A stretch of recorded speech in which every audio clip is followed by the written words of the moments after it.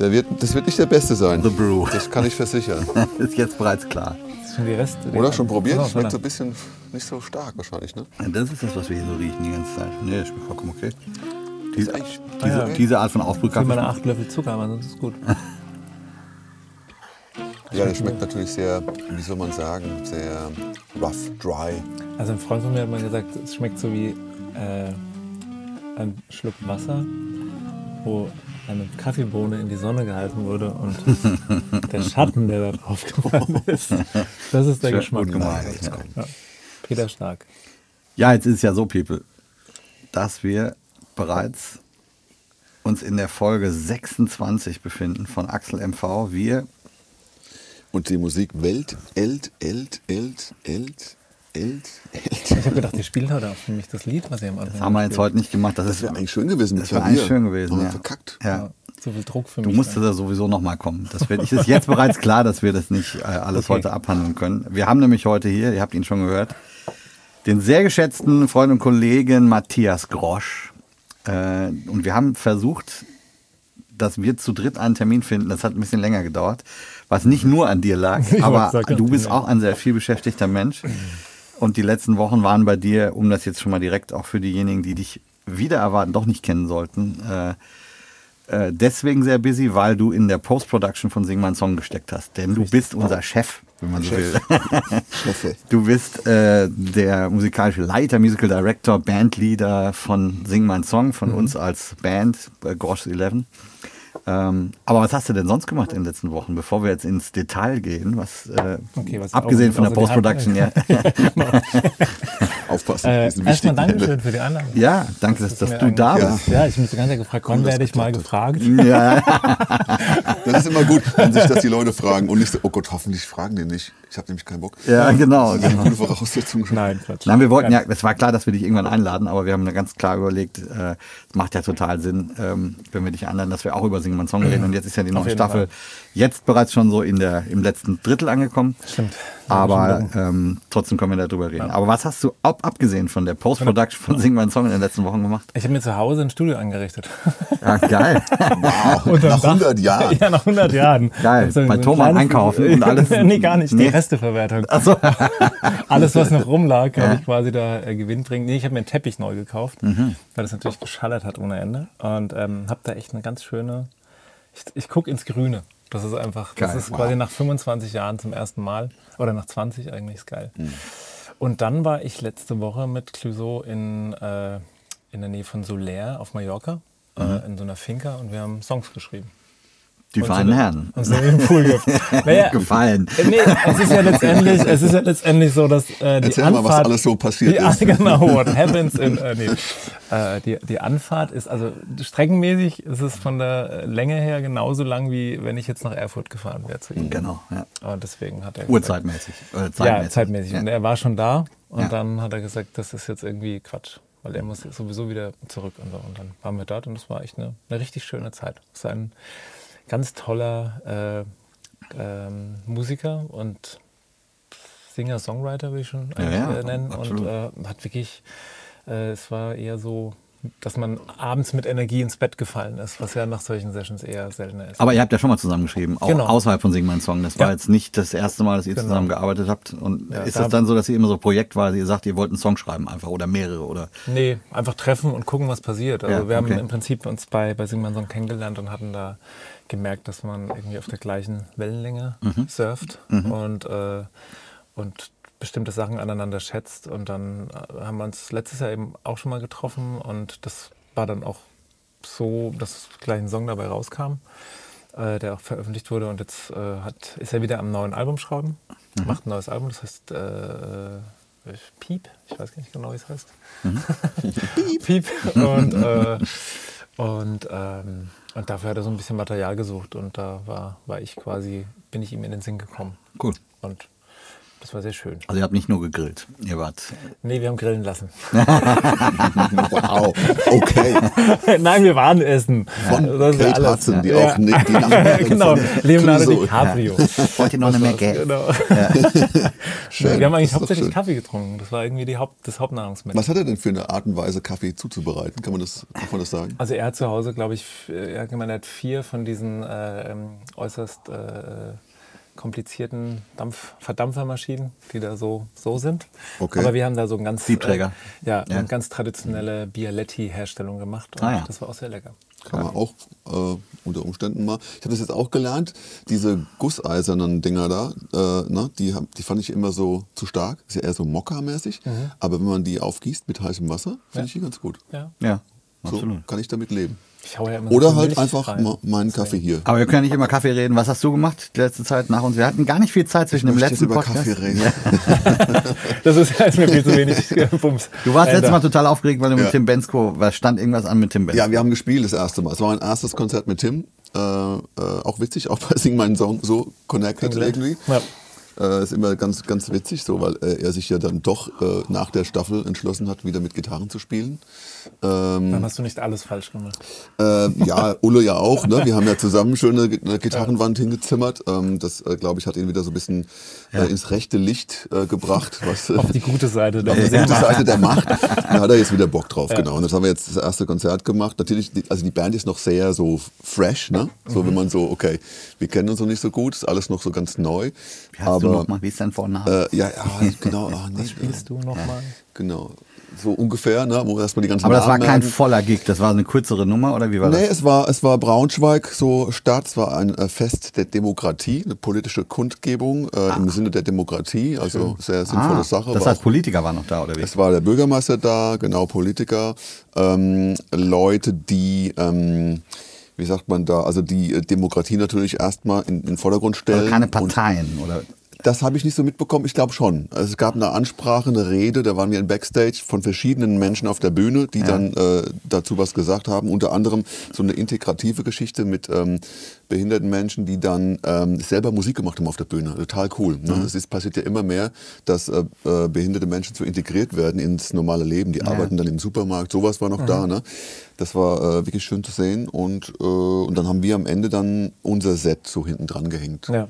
Aber ich, ich, ich frage deswegen, weil es ja für, für, ein, für jeden Künstler eigentlich immer so die Frage ist, stellt man sich bei einer politischen Veranstaltung irgendwo hin? Ich meine, das klingt jetzt so, als wäre das nicht für eine Partei ausschließlich, sondern es ist ja offensichtlich eine demokratische. Das war für, die, für, war für alle demokratischen Parteien. Das ging wahrscheinlich- aus dem ja. Ausgeschlossen und das Genau, ist aber- das Gute. Ja, genau. Genau. Und es ging ein bisschen so um Europa, ne? Wir, Eben. und wir wählen jetzt und wir wollen das Richtige wählen. So, ne? Ja, aber Überlegt cool, dass der gut. Tim sich dann auch dafür buchen lässt. Äh, Ja, ist super. Auch, weil es ist auch nicht jeder Künstler, der, der sagt, ich will politisch mich irgendwo. Äh, Das Fadenkreuz. ja, genau, weil es ja dann häufig auch ja einer mal ein Fadenkreuz Das stimmt, ist. aber äh, wer will nicht die Demokratie in, in Deutschland so, ne? Richtig, Da ja, macht ja, man nichts ja. falsch erstmal, Ja, ne? ja.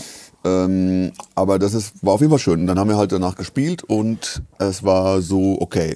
Mein erster Gig mit Tim, klar, aufgeregt. Ne? Mhm. Hast du Fehler gemacht? Das letzte Ich habe, Thema war nämlich äh, Fehler machen. bei uns. Ja, das war's davon.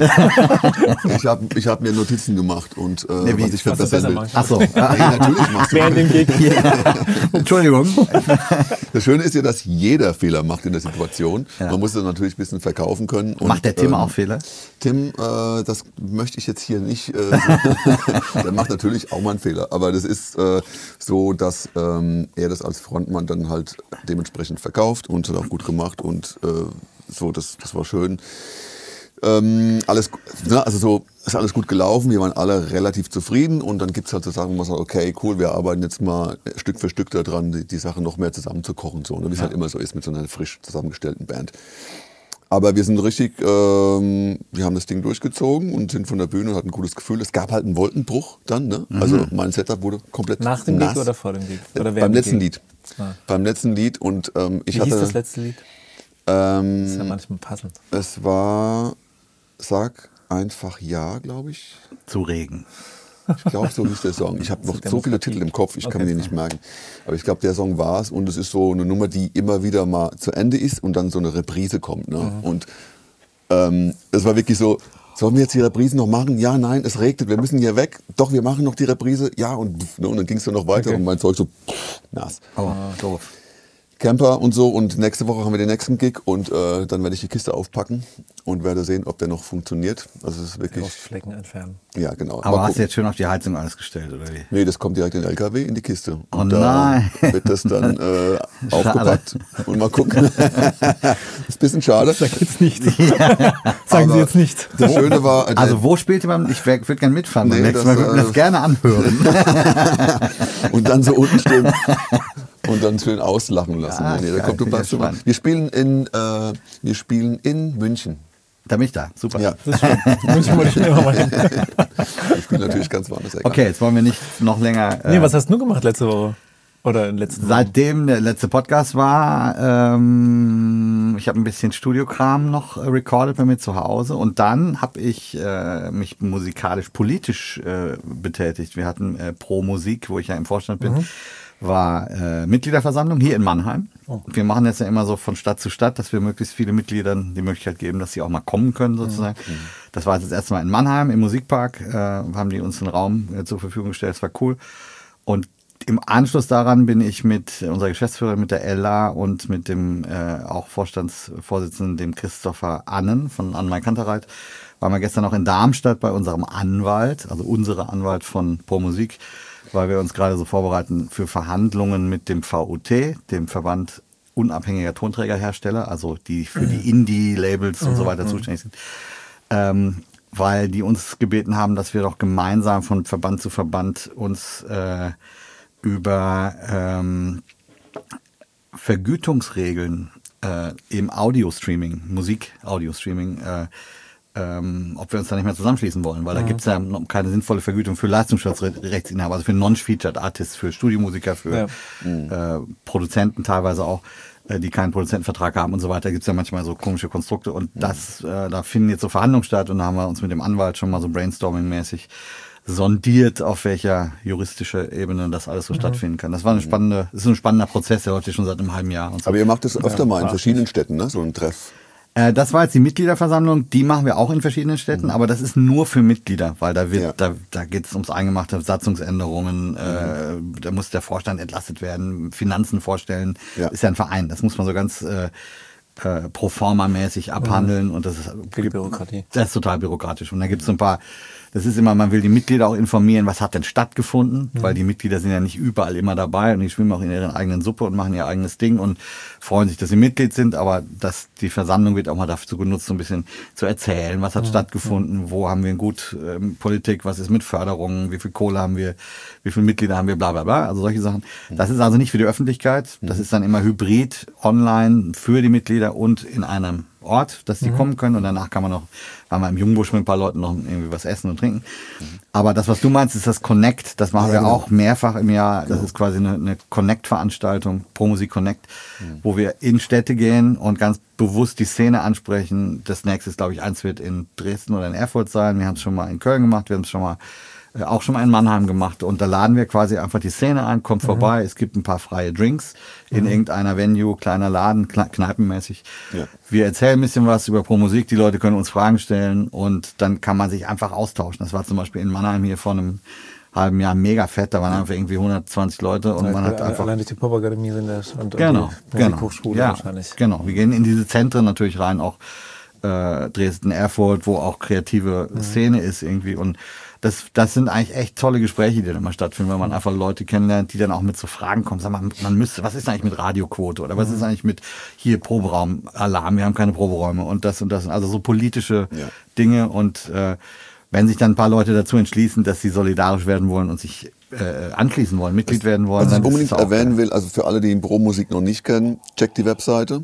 Es Mhm. ist nämlich super, was da gerade läuft. Ihr habt unter anderem einen Gagenrechner jetzt äh, an, online. Den stellen wir demnächst auch mal vor. Wir wollen den Lukas mal fragen, der, Super. der das gemacht hat, äh, den Gagenkompass. Super spannend. Äh, den laden wir mal ein zum Podcast äh, und dann äh, wird er uns mal ein bisschen mehr erzählen. Quatschen wir drüber. Aber ihr könnt auf die Webseite gucken, promusik.de oder pro minus. Promusikverband.de. Okay. Genau, Promusik ist Checken wir unten rein. häufig auch so äh, PR-Rental Companies heißen auch häufig mal Pro Music oder so. Es ist aber Pro Musik, die deutsche Musik, promusikverband.de. Ja, wir stellen den Link rein. So, das habe ich gemacht. So, jetzt sind wir bei dir, Yeah. Matthias. Welcome. Welcome. Nochmal. Once again. Ähm, Jetzt musst du erstmal spielen. Ja, ja genau. genau, wir haben das Ich habe heute auf, im Auto gesessen und mir überlegt, wie, wo haben wir uns, also wir beide haben zusammen studiert. Ja. Wir haben nämlich in Mannheim Jazz schon. studiert. Das habe ich nämlich auch überlegt. Wir kennen uns Wo haben- über 25 Ist Jahre. so, ne? Haben wir gleichzeitig Zwei- angefangen? Hast du 98 angefangen? Nee, oder ich habe 99? 2000, du warst zwei Jahre vor mir Ja, schon also da. dann aber- sind wir quasi im 24. Ehejahr. jetzt. Das ist ja quasi kurz vor der, Genau. was ist dann, äh, Diamantene Hochzeit.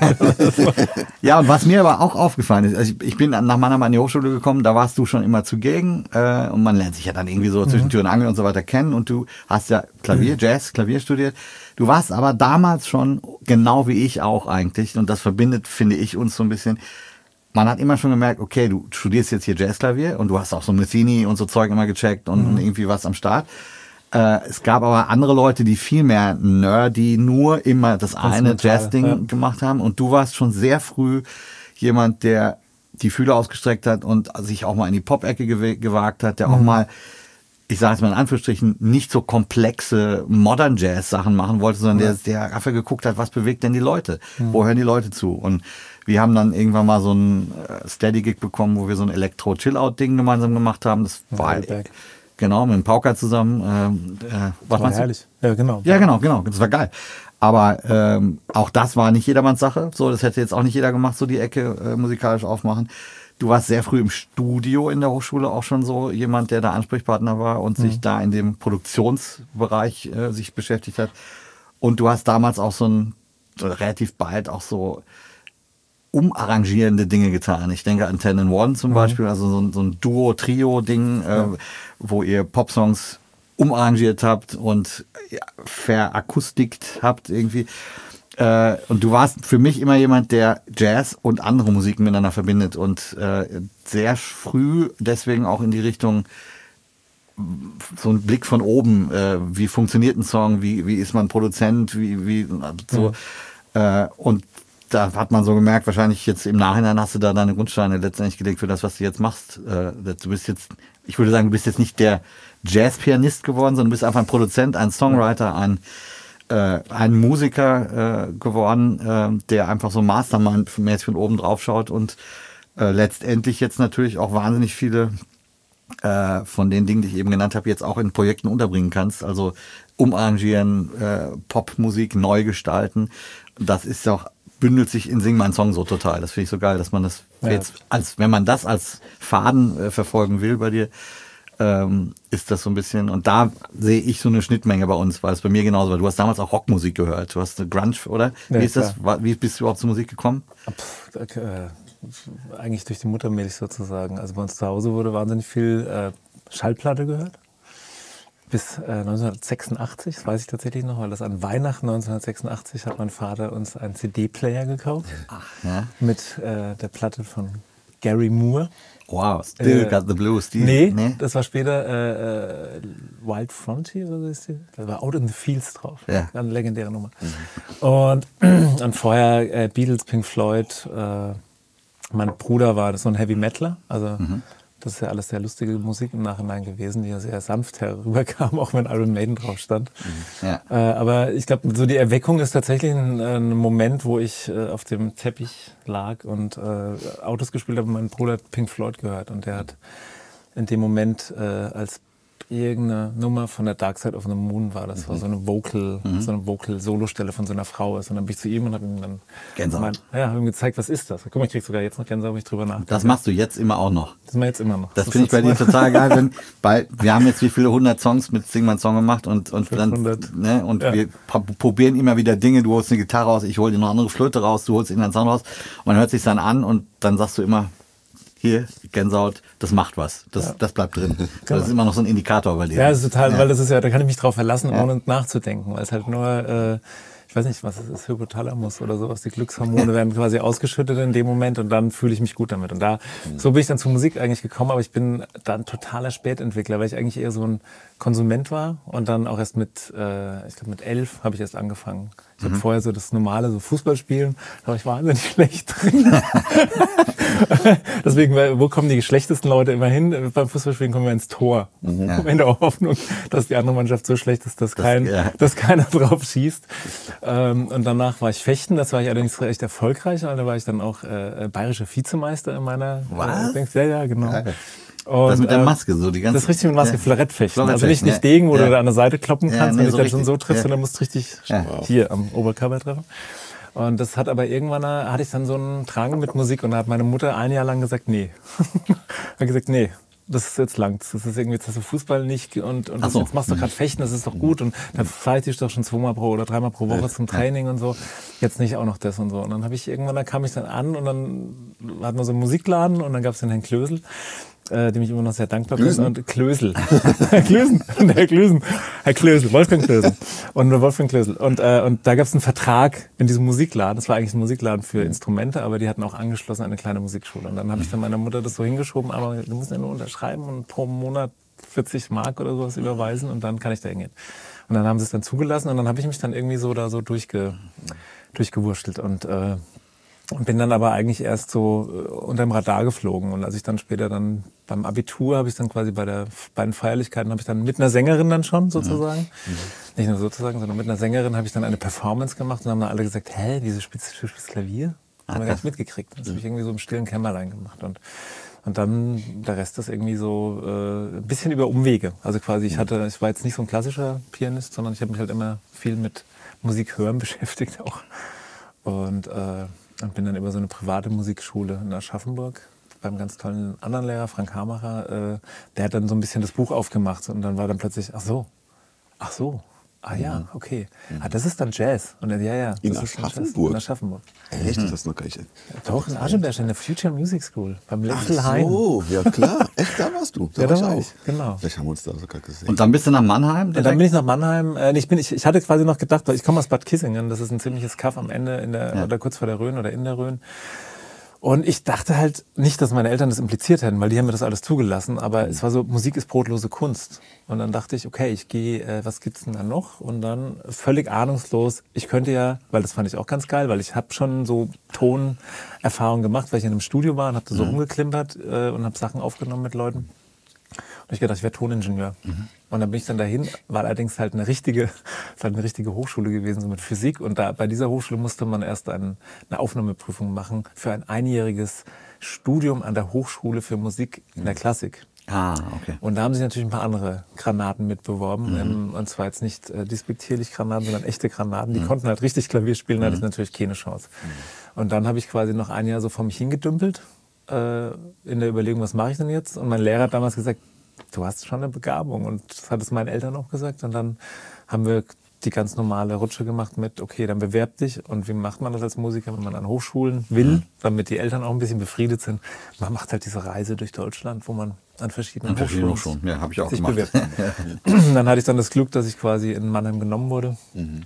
Weil das war dann die, die Hochschule, an der ich genommen wurde. Und ich wurde noch an. Aber da musste ja schon so ein bisschen jazzmäßig schon so ein bisschen drin sein. Ne? Ja, Die also Aufnahmeprüfung ist ja nicht so ohne. Ja, also so nach, nach so einer langen Zeit kann ich ja sagen.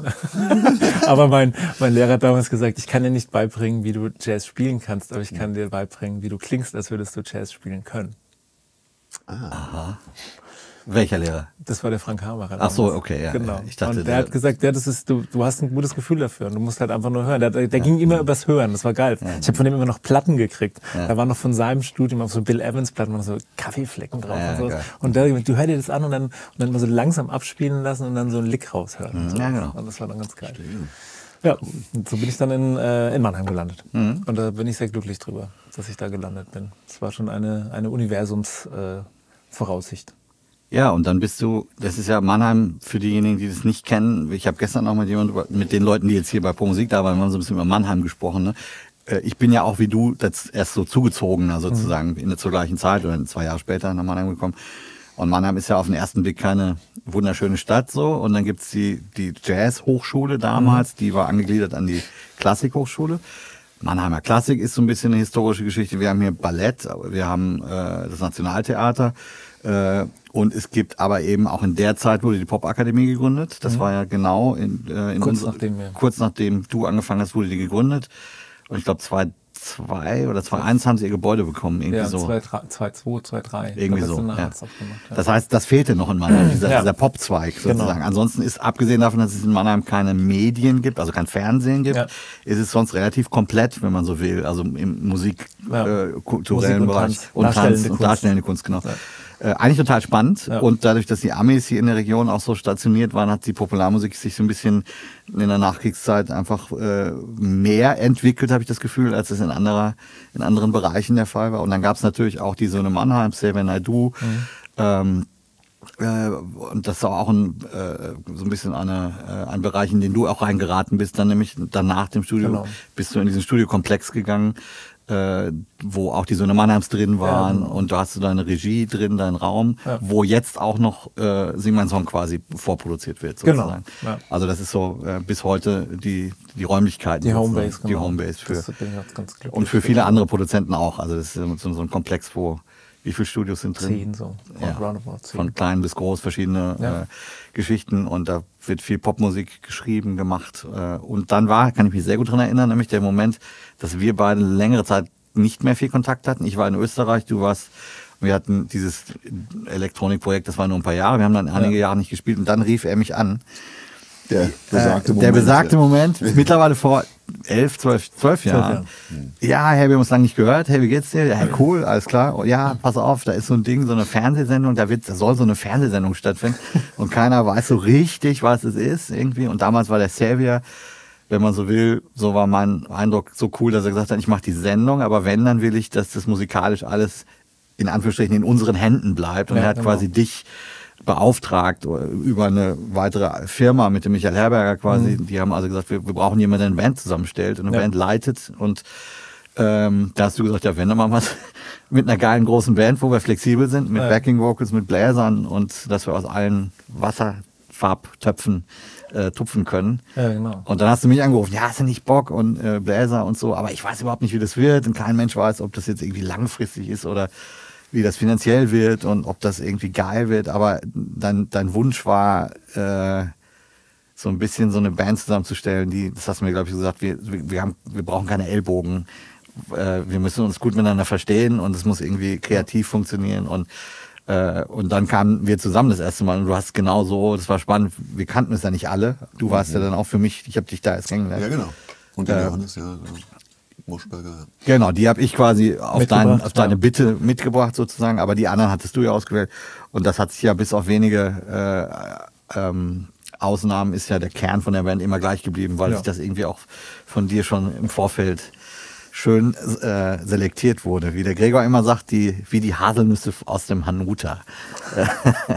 Naja, ich meine, ich, ich, bei dir habe ich es scheinbar nicht gesagt, aber es gab Leute, die hatte ich angerufen und habe gesagt, ich habe was vor, ich habe ein äh, Experiment vor, ich möchte mit euch zu, für drei Wochen ins Studio und wir dürfen uns nicht umbringen. Das hast du so nicht gesagt. Das habe ich so nicht gesagt. Aber es gab Leute, denen habe ich das so gesagt. Das war quasi mein, mein Ansatz, aber natürlich ist der Hintergrund ein anderer gewesen. Ähm, es, gab, es gab verschiedene Hintergründe. Es ist natürlich so, dass du dir immer. Ähm, ich habe mir die, ich habe die Leute angerufen, die ich in meinem Umfeld kannte, die ich am besten fand. Das war schon mal das Erste. Also ich habe quasi die geholt, wo ich gesagt, die finde ich richtig geil. Äh, spielerisch. Und dann gab es aber noch die zweite, quasi durch den anderen Filter musste es auch noch durch. Der war nämlich, dass ich gesagt habe, und die finde ich auch menschlich geil. Und mit denen ich, kann ich mir vorstellen, dass man mit denen richtig äh, ähm, einfach durch, durch Ups und Downs gehen kann und so, eine, so ein kleines Raumschiff irgendwie zusammen tackern kann, wo man irgendwie abhebt und irgendwo hingeht und Musik macht und ohne, dass jemand, ähm, also dass es dass einfach die Summe der Teile einfach am Schluss viel mehr gibt als quasi diese einzelnen Komponenten, sondern dass es irgendwie, das passieren ja immer wieder, jetzt auch noch auf dem 11. Jahr passieren Dinge, wo du denkst, okay, es ist schon schlüssig, das ist jetzt eine Gitarre und das ist Gesang und das ist ein Klavier, aber irgendwie, wo kommt das jetzt eigentlich gerade her, was wir da gemacht haben? Klar, ich habe einen Vorschlag gemacht, aber jeder von euch gibt ja immer während der Produktion sein Gewürz dazu. Ne? Es ist immer wie so ein, es ist wie so ein Kochtopf und im Gegensatz zum normalen Kochen, wo viele Köche dann oft den Brei verderben, ist es so, dass es natürlich immer mit, mit mir als Head-Off sozusagen, äh, Küchenchef, ähm, aber ich, ich lasse euch schon vor an den Kochtopf und sag, werft mal rein. Ja. Oder ich sag vielleicht auch manchmal, lass erst mal ein bisschen probieren, vielleicht ist es, ist es zu viel oder, mhm. oder ich sag vielleicht im, von, im Voraus, das Gewürz wird vielleicht dem Künstler nicht schmecken oder mhm. sowas. Dann ja. lass uns das lieber, wir können es mal kurz probieren, weil das ist ja auch so, eine, so ein Satz von mir, den ich ähm, hoffentlich oft genug sage, ist, äh, lass erst mal spielen, bevor wir darüber reden. Ja. Aber das Gute ist ja, und deswegen funktioniert es auch am Ende äh, so produktiv, dass du am Ende immer so das letzte Wort bist. Du sagst, okay, das, das ist deine Verantwortung, du hakst das jetzt ab, ich, äh, ich Ne? Du bist, für dich ist das okay, so wie wir es eingespielt mhm. haben und so lassen wir es jetzt Punkt, nächstes Ding. Ähm, ich glaube, es ist immer ganz wichtig, dass in so einem, in so einem Haufen, ne, so, dass dann irgendwann so einer da ist, der halt einfach auch ja, das Ohne das wird es nicht gehen, das ist ja klar. Das wird gar nicht ja. gehen und deswegen ist es auch wichtig, dass so ein, so ein ähm, musikalischer Leiter dann am Ende so äh, die Sache nach Hause fährt und so. Und das hat immer ganz gut funktioniert. Und jetzt sind wir schon im in der zwölften Staffel sind wir jetzt. Der elfte war jetzt. Der elfte war jetzt. Ja. Genau, ja. es käme die zwölfte. Und ähm, was mich jetzt da jetzt interessieren würde, wäre, wenn du jetzt so zurückguckst. Wir hatten ja wirklich, ähm, ich versuche mich auch gerade so ein bisschen zu erinnern, wir hatten ja schon einen Anfang, der so ein bisschen so, okay, wir starten mal, wir gucken, wo es hingeht. Mhm. Das, wird, das, das Schiff ist noch nicht ganz fertig gebaut, aber wir ja. fahren mal los. Ne? Ja. Was, hast, wo hast, was hast du so für ein Gefühl in, in in welcher Art, in welcher Art und Weise hat sich das so entwickelt? Was, was ist so der Prozess, wo du, der dir jetzt einfallen würde? Wir haben uns von da nach da entwickelt. Kann man das irgendwie, ich meine, das ist viel, aber kann man das irgendwie darstellen? Was fällt dir auf? Also wir hatten am Anfang natürlich die, die Option für uns äh, nicht gesehen auch ein bisschen, äh, äh dass wir vorher was produzieren. Ja. Oder was vorproduzieren oder sowas, sondern das war ja, die erste Staffel war ja tatsächlich so, dass manchmal die Künstler, die kamen ja dahin zu uns nach Mannheim und ich habe irgendwas mir ausgedacht mhm. und habe es hingeschrieben. Und ungefähr so könnte ja. das sein. Ne? Also ich ja. erinnere nur, äh, es gibt, gab quasi eine Nummer von äh, Roger Cicero, Ich atme ein. Mhm. Äh, da habe ich so ein Jazz-Arrangement geschrieben mhm. gehabt. Das mhm. haben wir dann irgendwie ein halbes Mal, also glaube ich sieben Takte gespielt und dann habe ich gesagt, okay, auf keinen Fall werden wir das so spielen. Ja. Das ist die schlimmste Idee, die ich seit langem hatte. Ja. Und da war natürlich in dem Moment äh, das sehr schön, dass äh, das schon der dritte Tag war, glaube ich damals und oder der zweite und äh, Sarah Connor das Konzept auch verstanden hatte äh, weil das nicht jedem auch erklärt wurde. Und die, ja, ähm, dann muss man halt vielleicht irgendwo anders hingehen. Und dann. Ist immer so Coldplay-mäßchen abgebogen bei der Nummer. Musikalisch woanders hingehen. Ja, ja, total. Ja. Also wir haben gesagt, okay, lass was anderes probieren. Komplett ja. andere und, Ecke. Und wir haben das gechampt. Ja. Die Nummer ist eigentlich gechampt entstanden. Ja, genau. Ja, genau. Und da gibt es ein paar Nummern, die wir, die wir, das, das, diese Band kann das, die kann wirklich on the fly kann diese Band auch Arrangements machen. Ne? Mhm. Und das ist das, was natürlich, was ich mir gerne wünschen würde, eigentlich. Manchmal, wo ich einfach sage, eigentlich müsste man jedem Künstler sagen, mindestens ein Stück, aber mhm. man kann den Zufall nicht herausfordern. Ja, genau. Das kann, mhm. da kann einer einen falschen Tag haben, äh, kommt dahin und sagt irgendwie, hey, ich hatte eine, eine, Autopanne, irgendwas blöd und er hat einfach den Kopf ganz woanders, dann kann er sich nicht für was Neues öffnen. Ja, ja. Noch dazu sind die Künstler mittlerweile im Laufe der letzten zehn Jahre immer noch, noch mehr fokussierter geworden auf das, wie sie klingen wollen und so.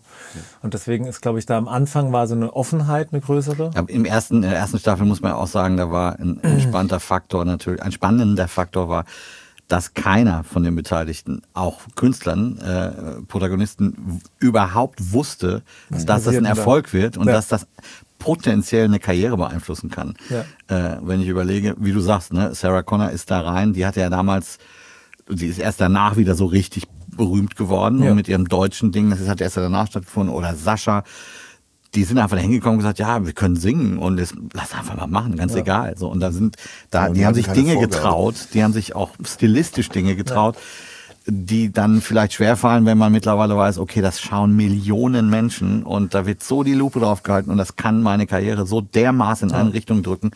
Das heißt, danach wurden die Künstler wahrscheinlich etwas bewusster damit, wie du gerade sagst. Irgendwie. Und, und, und sie durften halt auch, ähm, also wir hatten es halt damals auch gesagt, dass wir, dass wir das strikt handgemacht Mhm. Also mhm. Pop-Bereich gibt es ja eigentlich im Prinzip, wenn das nicht weiß, es gibt ja zwei Varianten, wie man es machen kann. Alle, wir spielen quasi nur das, was so viel, fünf Spuren, fünf, äh, fünf ähm, Instrumentalisten spielen fünf Instrumente oder der mhm. Keyboarder spielt vielleicht auch mal zwei Instrumente und dann äh, und dann war es das sozusagen. Und so ist auch mhm. diese ganze Platte. Ich glaube, da gab es einmal eine eine Geschichte, wo wir unbedingt einen Schellenkranz mhm. äh, wollten und die die Mädels, äh, die Backing-Sänger konnten das nicht bedienen in dem Moment, weil die so viel zu singen hatten und es dann alles auf den Mikros auch wäre, dann mhm. haben wir das mal von Band kommen lassen. Und mhm. die Popmusik als solche ist ja jetzt äh, mittlerweile so, dass, dass da ja äh, Keyboard-Spuren laufen, bevor die Band anfängt zu spielen, mhm. äh, was jetzt nichts Schlechtes ist. Das ist ja eine, das ist eine Produktionsweise, äh, es ist auch eine, sag ich mal, ähm, das ist der, der Wandel der Zeit auch, der, der, der musikalische ja. Wandel. Also das heißt, wenn, wenn man wieder mal sowas macht wie äh, nur ganz wenig Instrumente, merkt man erst als Band auch, dann sitzt man manchmal da und denkt, so, es macht so Spaß zu spielen, weil mhm. man einfach nicht mehr dieses Diktat hat von irgendwas, was vom Band kommt, was dazukommt, was absolut okay ist, äh, äh, was ähm, das Ganze auch schön und groß macht und emotional. Ähm, und das ist aber in dem Moment, kann das auch so ein bisschen befremdlich wirken. Dann mhm. in dem Moment so, hoch, das klingt aber jetzt ein bisschen gar nicht so groß und gar nicht mhm. so ausproduziert. Und deswegen äh, gehen die, die Leute eigentlich meistens den Weg, dass sie halt einfach vorher, wir uns vorher treffen. Deine Frage ja, war ja eigentlich, ja, was ist der Wandel? Ja, genau. der Wandel ist eigentlich, mhm. was sich geändert hat, ist, dass wir von sehr handgemacht äh, relativ schnell zu schon viel produzieren, mhm. sozusagen. Also ich treffe mich mit den Leuten ja vorher auch, ja. überlegen uns schon ein paar Sachen und dann mache ich im Prinzip äh, einen Hybrid von mal mehr Band, mal ein bisschen mehr äh, Produktion hinten dran, weil äh, weil es einfach natürlich gar nicht darstellbar ist, was man musikalisch äh, sagen möchte, weil der Künstler als solcher hat ja vielleicht eine Vision, wo er sagt, ich denke an Großstadt, ich denke an dieses und jenes und dann sagst du ja, ich habe eine Ukulele, da kann ich jetzt die Großstadt jetzt nicht so mit bedienen und dann äh, kommt halt was, was halt vorher schon oder was von Keyboards kommt mhm. oder sowas. Also ich finde auch nochmal, ähm, dass sich in diesen elf Jahren auch soundmäßig, das eine ist natürlich, es läuft vielleicht ab und zu mal ein produzierter Teil mhm, mit. Mhm, ja. äh, trotzdem spielen wir ja dann aber live in Südafrika ja, ja. Und, und das Zeug, was man im Fernsehen oder auf der CD nachher hört, ist ja immer der Take, der da auch äh, während die Kamera läuft ja. stattgefunden hat. Das ist ein Live-Konzert. Ist eigentlich ein Live-Ding. Ja. Da laufen ein paar Keyboard-Spuren mit und so weiter oder mal, wie du sagst, ein Shaker oder irgendwas. Oder, äh, aber ich finde auch, dass sich der Sound, die, der Produktionssound, der Mix, da hat sich auch unglaublich viel getan. Ja. Äh, wenn man noch die ersten zwei, drei Jahre anguckt, da äh, war das alles noch sehr liveig gefühlt. Also, also man eine hat Roughness gehabt. Eine ne? Roughness, genau. Ähm, auch so dieses, was man als Zuschauer als Musiker, ich meine, wir haben ja hier ein großes Musikerpublikum, Nahbesprechungseffekt von einem Sänger, wo ja. so, wenn man sieht, okay, dann klingt das nicht mehr so, wenn das Mikro ja. irgendwie zehn Zentimeter weiter weg ist. Mittlerweile sind die Jungs, äh, die nachher Post machen, den Mix machen, das ist alles so unfassbar auf einem äh, hohen Level, dass die Produktion so krass klingt, als sei es fast nicht mehr live. So, ja. also dieses, als Auge, wenn man das noch, wenn man so wie wir die 90er Jahre noch kennt oder noch weit weiter zurück, ja. wo das alles total rough war. Mhm. Das ist überhaupt nicht mehr der Fall. Da, wird, da findet natürlich Isotope statt, es findet starke Kompressionen, dynamische EQs und so Zeug statt, wo du einfach nachher wo du denkst, boah, krass, das ist aber eigentlich wie eine Studioproduktion. Aber es ist tatsächlich das Live-Ding. Und da hat sich natürlich in den Jahren auch technisch einfach viel getan. Ne? Also Total. Und man muss auch sagen, wir haben natürlich auch dazugelernt. Das heißt, wir leiten die Künstler auch manchmal noch an, auch wenn das natürlich alles alte Hasen sind im Showgeschäft, ja. haben die auch manchmal eine, äh, eine Technik, eine Mikrofontechnik, die vielleicht jetzt äh, hier und dort äh, nicht ganz so zuträglich für eine ja. Aufnahme ist. Und dann ja, genau. machen wir sie nochmal darauf aufmerksam, hey, bleibt ein bisschen dran, bleibt mhm. dran mit dem Mikrofon. Ja, ein bisschen zu. Mich, dass es so viele äh, äh, Sachen gibt, die technisch irgendwie so nicht so einfach sind an so einem Set. Erstens Wind, ne? ja. die Overhead-Mikrofone auf dem Schlagzeug. Also Hatten wir dieses Jahr ja wahnsinnig viel. Man hört das auf der, in der, gerade in der ersten Folge oder sowas, da macht es plötzlich am Schluss, hörst du denkst die ganze Zeit, was rumpelt denn da so? Es ist halt einfach, mhm. Mik auf jedem Mikrofon ist halt Tiere. Man sieht das dann an den Frisuren von den Leuten. Und ich okay, an die erste Folge, es war ja. Sturm, die Bäume. Ja, das war Wahnsinn. Das, wir ja. hatten noch nie so einen Wind. Nee, die haben sogar dieses eine Licht nicht angemacht oder den Kran nicht aufgebaut, weil der Kran so viel Geräusche gemacht hätte durch den Wind, der quasi dagegen bläst. Krass. Das hätte okay. dann gepfiffen und, und wenn der Wind dann weg war, kommen die Grillen wieder. Ne? die genau, kann man, die kann man auch nicht wegeditieren. Die sind ja immer drauf, was aber auch irgendwie seinen Charme hat. Ne? Also irgendwie finde ich das schön. Äh, und dann äh, hat man ja, ähm, dann hatten wir mal Vögel, die ans Set kamen. Mhm. Ja, das war sehr gut. So ein Pfeif-Dingens da ja. drin. Also es kommen immer Sachen dazu, die erstens sind wir in Afrika, ne? Das ist ja dann schon auch so ein bisschen Wildnis. Dann mhm. kommen irgendwelche Viecher geflogen.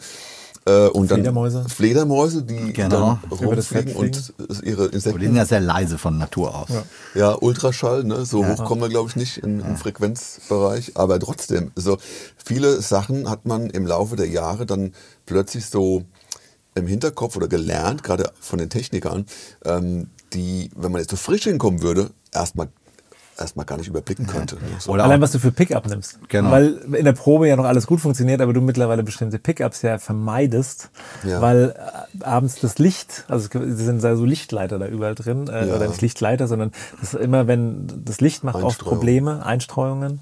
Wobei das Ähm. da, ja doch, da hat man es ein bisschen gemerkt. In Elmau war es ein bisschen schlimmer. Ja, genau. Gedimmtes Licht ist immer so das Thema. Da freuen Ja. sich dann, dann Single Coils äh, sehr, sehr. genau. Genau. Aber da ist eher so die Feuchtigkeit, die für Gitarren schwierig ist oder fürs Spielgefühl natürlich. Ne? Ja. Klar, Keyboards liegen dann auch unter Wasser. So. Ich habe mir jetzt fürs nächste Jahr eine Plastikflöte gekauft. Äh, und Wasserdichte. Zwar, nee, nicht, nicht wegen, Wasserdichte. nein, nicht wegen Wasser, Unterwasserflöte. sondern wegen Intonation, weil die sich nicht verstimmt. Ach so. Weil das Problem ist, wenn du eine Metall, also die Ja. Flöten sind ja aus Neusilber versilbert, Ja. und, also die Querflöten. Das ne? heißt, wenn du reinbläst, wird's warm. Genau, und die aus. steht halt rum, während Ja. wir die Show drehen und es ist irgendwie, wie viel haben wir, 13, 14 Grad oder noch kälter und dann 1, 2, 3, 4, Buff, oh no. Aber So. müsstest du die nicht einfach hinten in so ein Humidor stellen? Ja, quasi? das ich gibt hab- doch in, dem, in ja. diesem Restaurant gibt's doch bestimmt so ein, so ein Humidor für so Zigarren. Dann Ja, genau. Nee, wir haben ja schon die, diese Lüftungslöcher und Ja. ich stecke da schon immer die Flöte so rein? knietief rein, äh, weil da warme Luft rauskommt, damit die halbwegs warm wird. Aber sobald die Nummer steht, du kannst ja während des Spielens kaum Okay. nachstimmen. Geil, eine und diese Plastikflöte. Plastikflöte, die klingt schon. super gut, Ja. also die ist auch relativ hochwertig. Ja. Und die wird einfach, die verstimmt sich einfach nicht, egal ob heiß oder kalt. Okay. Weil es war die, dieses Abgefahren. Staffel. Ja, ich bin total gespannt, wie es dann wird, aber ich habe die jetzt schon auch im Studio mal eingesetzt. Weil das war echt immer so, oh no, Ja, ja. ich kann jetzt Können nichts mal mehr den, äh, ändern. den Kuba Ich- anrufen, ob er eine Plastikgitarre bauen kann. Gibt's ja auch alles schon. Ja. Ja, aus Ja, aber wir haben ja, Carbon. aber wir haben ja gehört, das ist quasi, du müsstest ja nur hinten, irgendwie hat auch einer von den Technikern mal gesagt, du müsstest dir nur so eine dicke Eisenplatte hinten hin machen, dann wäre es abgeschirmt. Ach so, wegen der Abschirmung. Ach so, okay. Aber dass die Gitarre halt dann vier Kilo schwerer, was ist ja dann doppelt so schwer ist. Mist, geht nicht. Aber so gegen Wassergeschichten, äh, ne? so von wegen Holz saugt Wasser auf, Gitarre verändert sich Ja, und so. genau. Ne? Ja. Aber jetzt nochmal ganz kurz, äh, weil du das eben so ganz kurz angesprochen hast, für die Leute, die das jetzt, wir haben es irgendwann schon mal erwähnt, aber dein Ding oder deine Aufgabe, du bist der Bandleader, du, du, äh, du hast eben kurz erwähnt, du triffst dich vorher mit den Künstlern, das ist schon immer so gewesen, ihr macht mal aus Tonarten äh, und in dem Fall jetzt, weil du sagst, gibt es schon Wird konkrete... schon grobe, die grobe Richtung wird äh, ins Holz gemeißelt. Wir So- wollen, äh, was weiß ich, For the. Floor, Ballade, Jazznummer, whatever. Das Ja. macht ihr vorher klar. Genau. Und wir kommen erst dann später dazu, äh, wenn es dann wirklich losgeht, in einem Pro, also in einem Vorproduktionszeitraum. Und dann sitzen wir zusammen und du sagst hier, Das ist ungefähr Das ist die Idee, die- die wir haben. Wo es hingehen kann.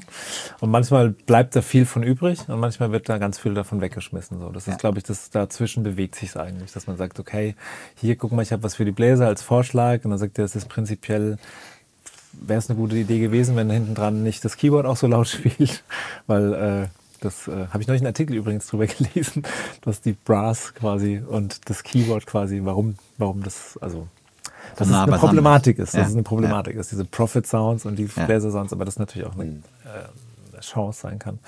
Aber äh, nichtsdestotrotz, also im Prinzip kriegt jeder was gezeigt. Äh, manchmal stehen Noten da, die halt ganz konkret auch sind und wo ich dann einfach sage, das würde ich auch drauf Wert legen. Und manchmal stehen einfach nur Akkorde da. Und dann sage ich, äh, jetzt hätte ich gerne den Markus Mojo oder den Axel Mojo oder den Keller Mojo. Weil Keller heißt bei uns, äh, die, die Bläser sind im Keller. Die Kellerkinder. Die Kellerkinder, weil äh, die ganz weit weg von uns sind, weil die eigentlich das Lauteste wären. Also Bläser sind lauter als ein Schlagzeug. Nur mal so, liebe Kinder. Physik. Physik. Genau. Und deswegen, äh, und da, und da, das ist so der, immer der Startpunkt. Also Genau. es gibt einfach manchmal Dinge, die funktionieren auch schon super. Und manchmal ist es so, dass man sagt, so, da habe ich jetzt irgendwie Bauchweh. Und, Mhm. äh, und da ist es aber auch so, dass ich mich dann immer äh, eigentlich zurücklehnen kann.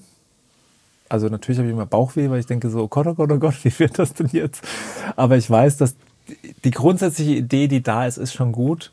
Aber, äh, und jetzt kommen wir wieder zu den verschiedenen Teilen, die dann mehr geben als nur die Summe davon. Und, das, und da, da, darf dann, da wird dann wild gekocht. Aber war das nicht total spannend für dich, als du das erste Mal bei der ersten Staffel, du hast ja eine Partitur da, ne? du, hast ein, du hast eigentlich ein riesen Orchester zusammen notiert, wenn man so will. Das dann das erste Mal, wie war der erste Moment, als du das erste Mal gehört hast, okay, meine Idee wird hier gerade von echten Musikern gespielt. Das, doch, das muss doch krass sein. Ja, das habe ich natürlich durchs äh, Studium schon ein bisschen gehabt vorher. Okay, okay, ja klar. Ja, also es war jetzt, es war jetzt so, dass ich, äh, aber es war natürlich so, dass es, ähm, ich das noch nie so gemacht habe, dass es im Pop-Kontext, Mhm. wo es auch zählt, sag ich jetzt mal, Ja. so viele Menschen quasi Auch gerade bezahlt Ja, werden genau. dafür, Ja, ja. Äh, meinen, äh, meinen geistigen ähm, äh, Erguss quasi jetzt von sich zu geben. Und äh, da gab es ein paar Sachen, die äh, hammermäßig gut funktioniert haben und wie auch schon die eine Nummer, die benannte, ach, gar nicht funktioniert haben. Und, äh, aber ich habe, ich weiß noch, dass wir, dass ich da wahnsinnig viel da gehockt habe und geschrieben habe, auch mit dem Konrad Hinsken zusammen, der, der äh, unser Notenschreiber äh, ist und auch äh, äh, dann Sachen mitschreibt sozusagen auch und äh, Sachen mitmacht, ähm, dass wir da saßen und äh, einfach stundenlang rumgejammt haben. Also man kann das, die erste Staffel kann man in zeitlich nicht, nicht in Worte fassen. Wie Also viel Vorbereitung es vorher war für dich? ich habe, glaube ich, ein Jahr. Das Sing mein Song, wenn du das zusammennimmst an Arbeitszeit. Ich habe natürlich nicht ein Jahr gearbeitet, Ja. aber wir haben einfach Tag und Nacht da gesessen. Auch wenn man das jetzt bei den Dingern gar nicht so gehört, aber wir haben uns wahnsinnig viel Gedanken gemacht. Und das, was du schon gesagt hast, ich hatte halt vorher ein Projekt, wo ich so Pop-Sachen total verwurstet habe. Und da hatte ich schon so 50 bis 60 äh, Arrangements auf dem Buckel, wo ich halt das, was ich in der Hochschule gelernt habe, eben Jazz. Also ich habe im Prinzip eine Melodie und was kann man dann darunter für Akkorde machen und ungefähr welche Stilrichtung. Ja, Ne? genau. Und da durfte ich das dann schon mal ausprobieren. Das heißt, I was trained for that. Ja. Und dann bin ich dann da hingekommen und dachte mir so, okay, alles klar, wir können da ganz wilde Akkorde machen. Und wenn man sich auch, äh, wer, wer da mal Lust drauf hat, also von den Musikern sich die erste Staffel anzuhören, da sind äh, echt krasse Sachen drin. Also das sind, weil das natürlich viel offener war, weil das halt nicht so eine, nicht diesen Pop-Kontext hatte, sondern ich würde mal sagen, es ist schon fast Jazz hier und dort. Und man zu, merkt ja. es nur nicht, aber es ist Jazz. Also es gibt ein paar Nummern von äh, gerade so die, die immer so Richtung letzter Chorus, wo ich dann, äh, und jetzt merkt es keiner mehr, bis dahin sind wir gekommen und jetzt, äh, ich guck mal, was ich für Akkorde noch so auspacken kann. Also irgendwann hat mal jemand gesagt, äh, äh, spaßeshalber quasi mein Spitzname, der Rehum- Reharmonisator sozusagen. Und der wird dann, wurde dann ausgepackt. Und das macht mir halt wahnsinnig Spaß, weil ich sitze dann da, ich krieg Gänsehaut beim Spielen, denke mir so, das ist zwar total Jazz, aber ich krieg gerade Gänsehaut. Irgendjemand muss es auch berühren. Aber das ist ja wie in dem äh, Rick Beato-Video, wo, wo Sting interviewt wurde, wo er gesagt hat, Musik ist für ihn Überraschung. Ne? Ja. Und das versuchen wir auch immer so ein bisschen, genau. wenn Ja, wir merken, absolut. okay, und bei uns hat halt jeder auch so, so ein bisschen Fühler, ne? jeder in der Band ist irgendwie ein Nerd auf seine Art und Weise, äh, der dann merkt so, ähm, äh, ja, es ist cool, aber für mich funktioniert die Stelle noch nicht. Das passiert immer wieder, dass plötzlich so eine Antenne hochgeht und jemand... Und äh, ihr das so- dann auch raushaut und es dann und dann Genau, und, und ich dann merke, okay, auch. alles klar, irgendwas, ich bin gerade voll auf dem Holzweg und dann dann zum Beispiel, was ja auch äh, vielleicht ungewöhnlich ist, äh, äh, ist das quasi aus dem Keller von von Axel kommt zum Beispiel total auf, Leute, ist eine geile Nummer, aber funktioniert überhaupt nicht gerade. Also ich Sowas, als, ja. ich als ich als Pop-Zuhörer würde jetzt sagen, ich verstehe gar nicht, was ihr jetzt gerade wollt. Ja. Äh, An irgendeiner Stelle seid ihr jetzt gerade von den letzten 30 Minuten falsch abgebogen. Oder äh, äh, und das ist natürlich, das ist das wichtigste Feedback, was man hat. Da kann man sich auch super drauf verlassen. Oder du sagst halt, ja, das ist jetzt irgendwie ganz okay, aber ich habe da so eine Idee. Und, und, und, und man merkt bei dir Ja. immer, wie du dann vor dich hinkochst. Für so. mich ist es halt immer so, entweder ich spüre es halt, also für mich ist halt so, ne, wo kann ich die Nummer emotional knacken? Das ist für mich das Hauptding. Wenn es für mich emotional nichts macht, dann ist es für mich schon mal, dann kann ich sagen, okay, die ist handwerklich gut gemacht, die Nummer, vielleicht Ja. funktioniert sie für jemanden anders Ja. und ich verstehe sie nur nicht, okay. Ja. Aber ich werde werd mich dann immer, kriege dann immer so schlechte Laune, wenn ich merke, also, ne, also so schlechte Laune in Anführungsstrichen, so dass ich merke, so, ich kriege die Nummer emotional nicht. Und manchmal sagt ihr dann ja auch so, ähm, ja, aber MV, das ist cool so, ne? Das ist halt jetzt einfach so. Gewöhn dich dran so ein bisschen vielleicht, ne? Und dann ist es auch cool, wo ich dann auch dann sage so, okay, vielleicht muss ich es einfach, vielleicht checke ich den Style nicht. Okay, gut, alles klar. Aber trotzdem ist für mich immer so, ähm, ich muss die für mich emotional irgendwie kriegen. So, damit Aber passiert es dir, ne? dir eigentlich manchmal, dass du, dass du manchmal in, wir proben ja dann quasi im Januar einen Monat lang äh, und haben ja aber eigentlich diese Nummer, diese eine Nummer, die du dann vielleicht sagst, okay, ich habe es jetzt für mich emotional, habe ich jetzt keinen Zugang gefunden. Äh, und dann spielst du sie ja erst wieder eineinhalb Monate später in Südafrika und dann probst du sie an dem Nachmittag einmal. Ja. Und das passiert jetzt manchmal, dass du da stehst und denkst dir so, ah krass, stimmt, funktioniert ja doch. Das ist auf jeden Fall schon passiert, ja. Das Kenn ich auch. Den Moment kenne ich auch total. Ja, aber geht mir nämlich auch so. Ja, ja. Tatsächlich sind es oft Sachen, wo ich dann sage, Ja. das hat jetzt überhaupt nicht hingehauen. So, ich aber nie. Und dann bist du dann nicht so, voll geil. Aber es gibt ja noch, wir reden jetzt immer so schön über unsere Emotionen, Ja, wie okay. wir versuchen, uns einzubringen. Das ist natürlich in deinem Fall auch total wichtig, weil du ja eben da der MD bist. Aber ich finde, ähm, es gibt noch zwei, drei weitere Faktoren, die speziell in so einer Situation, da gibt es ja nicht so viele, muss man sagen, Mhm. dass man eine Fernsehproduktion macht, wo viele Künstler dabei sind, die ihre eigene Vorstellung haben. Ja. Da sind Managements dabei, da sind Plattenfirmen, die auch Interessen haben. Da ist eine Band, die du gerne abholen möchtest, da ist ein eigener Geschmack, den du gerne abholen möchtest. Und dann gibt es aber noch zwei Dinge, und zwar einmal die Dramaturgie eines Abends.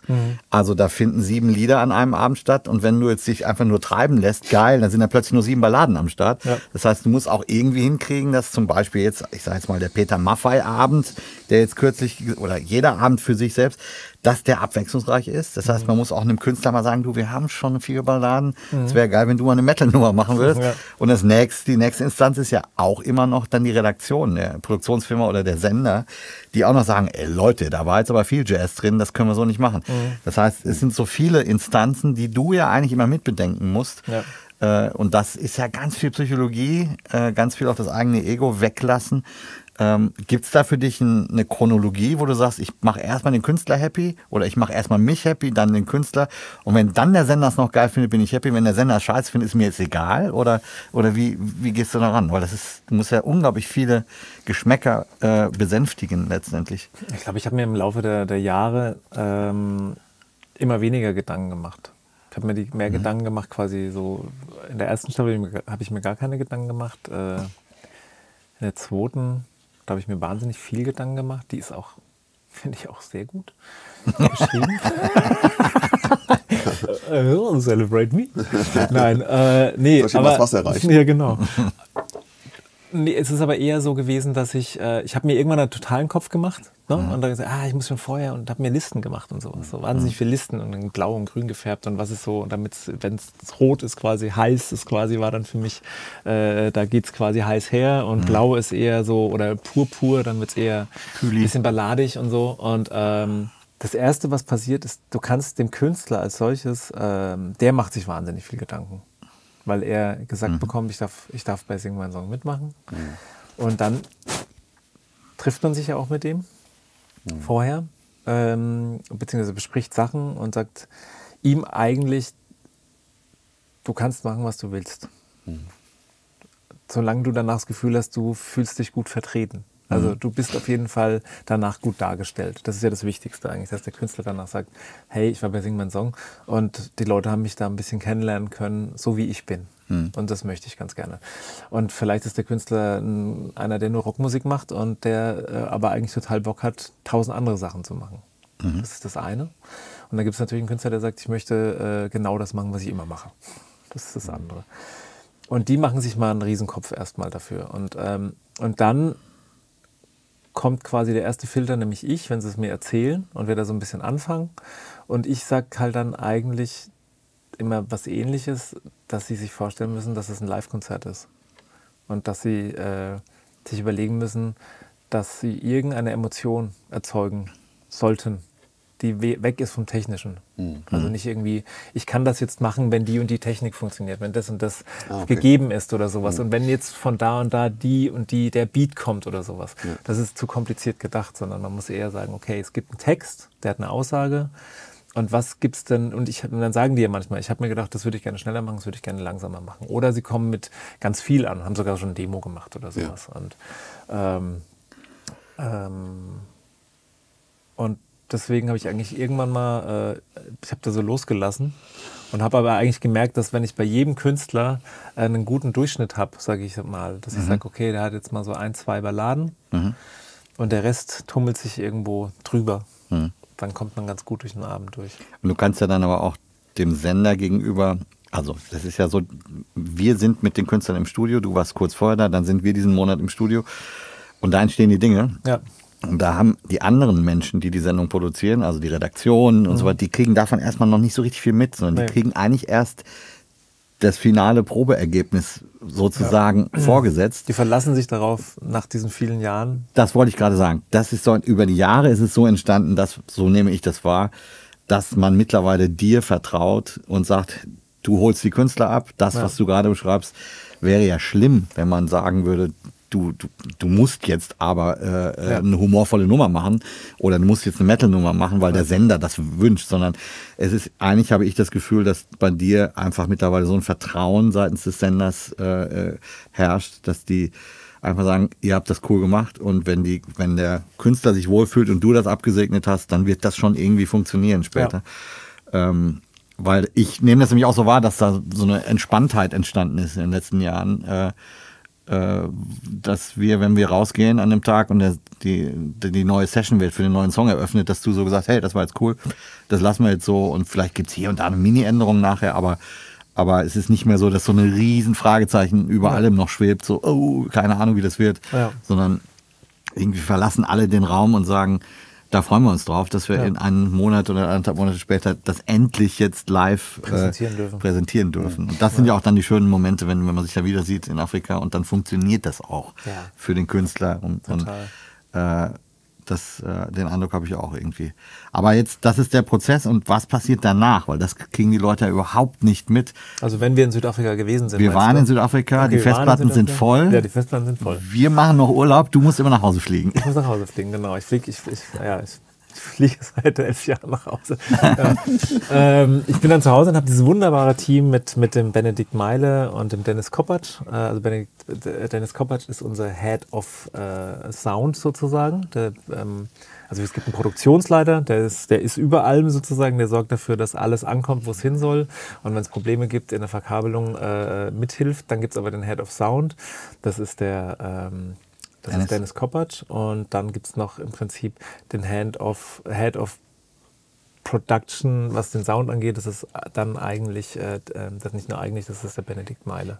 Und dann gibt es noch äh, den Tobias Fahn und die sind die Mischer dann von dem, von dem Album. Tobias Fahn mischt, äh, Benedikt Meile und dann eben auch der Dennis Koppatsch, weil Dennis Koppatsch ist nicht nur ein super Head of Sound, sondern er ist auch ein super Mischer. Weil wir so viele Titel haben. Wir haben Schluss 50 sind's- Titel, oder? Wir, wir haben 60 Titel. 60 Titel, warum 60 Titel?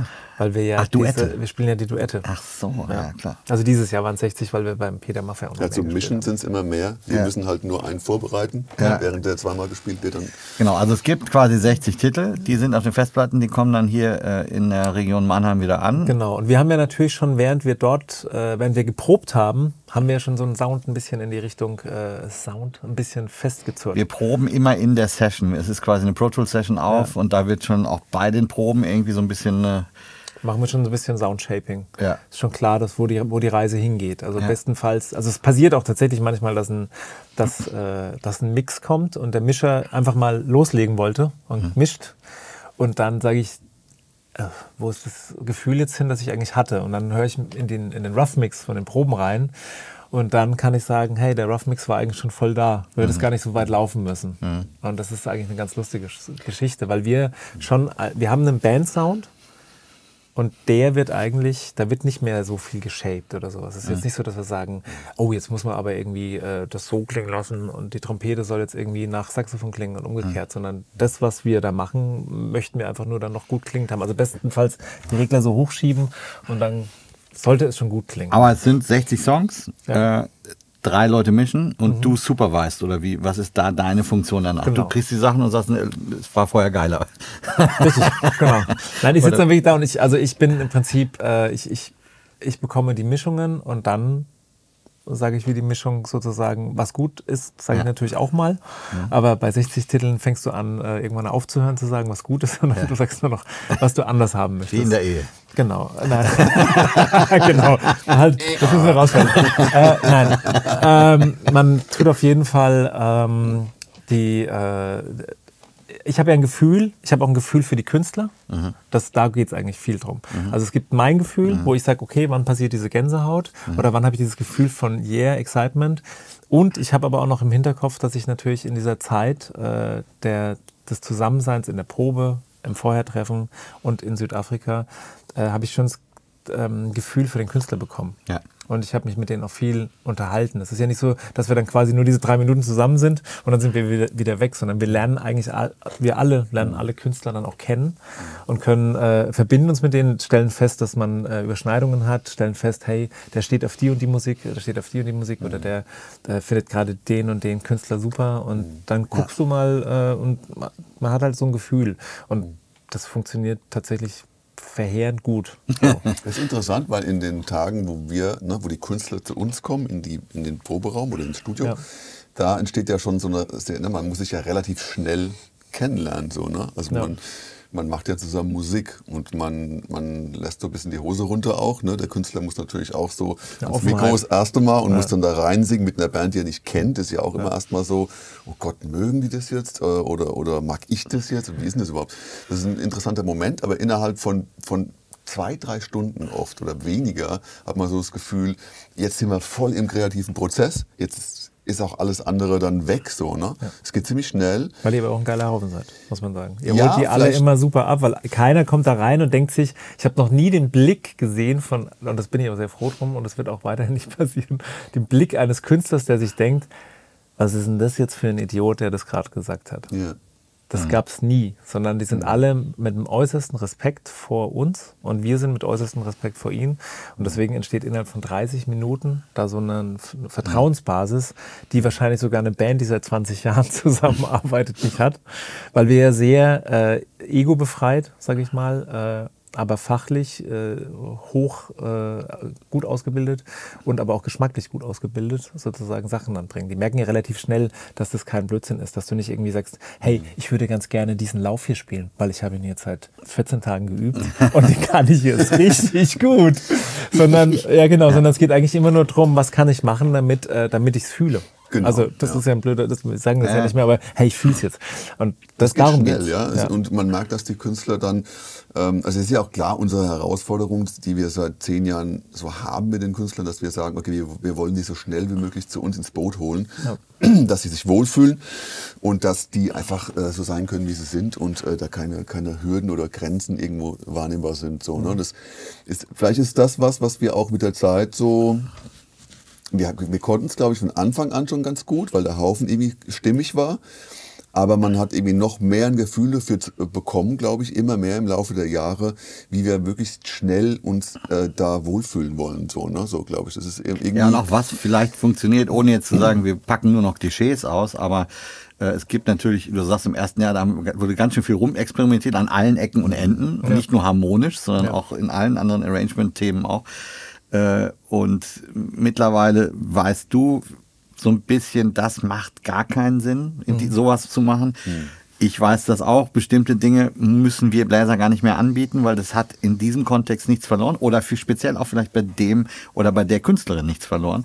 Ja. Äh, und das halt, äh, man spart Zeit dann. Ne? Genau. Es ja. ist alles ein bisschen eine Erfahrung, ist ein bisschen effektiver geworden, aber trotzdem haben wir uns, wie du sagst, so ein bisschen die, die Spielwiese erhalten. Es ist ja nicht so, dass man einfach Dienst nach Vorschrift macht, sondern es ist immer noch immer so eine Art, wir exploren jetzt gerade, was ist jetzt hier gerade möglich mit dem Künstler. Ich glaube, das ist das ist auch der Treibstoff eigentlich von dem, was wir wir da machen und von der, von der Bandkonstellation, die wir haben. Mit diesem Grosch 11 ist eigentlich, ähm, wenn man das zusammenfassen würde, ist es für mich, ähm, und das ist auch so eine, das macht mich immer total glücklich, wenn ich mit euch zusammen bin, dass äh, ihr jedes Jahr mit einer neuen Neugierde kommt. Mhm. Also quasi, ihr, ihr, habt, ihr habt immer ein neues Steckenpferd so ein bisschen. Und sei es, Weil ich, ich jedes Jahr ein neues Paddleboard habe.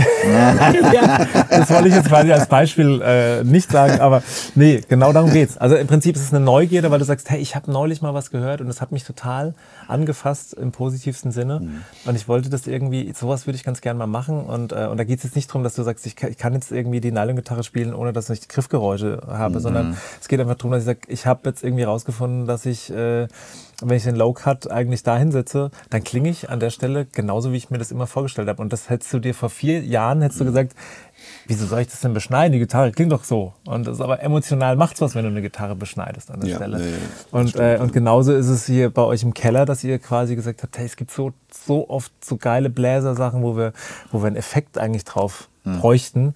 Äh, und wir quasi von der Tonabteilung in dem Moment, wo das passiert, weil wir ja innerhalb von zweieinhalb Stunden ein Arrangement quasi dann da nach vorne treiben müssen, hat die Tonabteilung oft gar keine Zeit, sich so viel Zeit damit, Mhm. äh, oder so, die Zeit, die du schon da reingesteckt hast und du sagst, ey, es gibt bestimmte Musiken, die haben einen Plate-Hall, es gibt welche, die haben Spring Reverb drauf und sowas. Und, und jetzt ist es quasi bei euch gelandet, sozusagen. Mhm. Ja. Ihr habt jetzt ein eigenes Pedalboard, also Pedalboard Overall.